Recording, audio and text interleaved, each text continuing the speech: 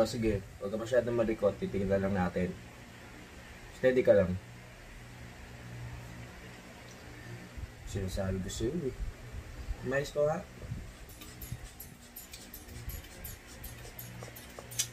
Steady ka lang, huwag ka masyadong malikot.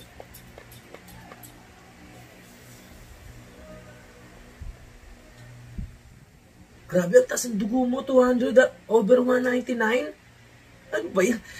Kasi masyado nag-iisip eh, wala namang ginagawa yung tao.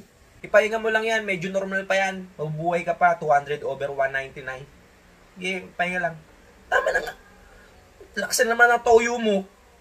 Tama na. Pahinga ka na, huwag na masyadong umilos.